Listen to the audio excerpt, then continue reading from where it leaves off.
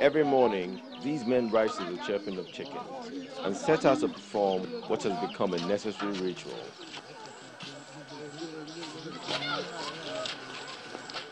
They are responsible for ensuring that the access road into the community is motorable. If anything happens to this bridge, then they are trapped. The experience of motorists plying this route has discouraged many, which has hampered economic progress here. Those transport that they used to come here, they used to complain about the road that they won't fit come here just because of the road.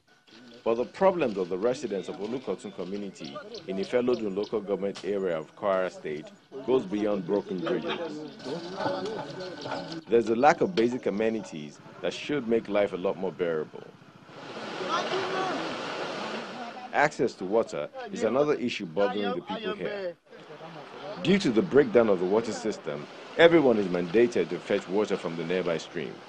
And if that dries up, it means a long and uncomfortable trek to the next.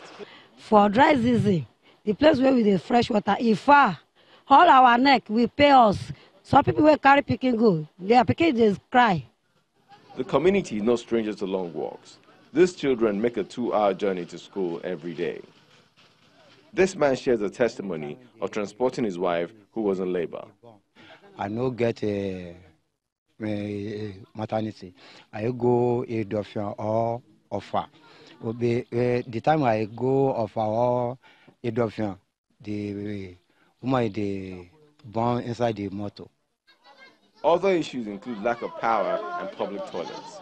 To put it mildly, the people here live in abject poverty. Their case has been taken to the state government. Its response to Channels Television through the permanent secretary in the Ministry of Water Resources is for the people to be patient. But if patience is anything like this elderly man who has spent his entire life in this community, then there is the chance that someday the government intervention promised may be fulfilled.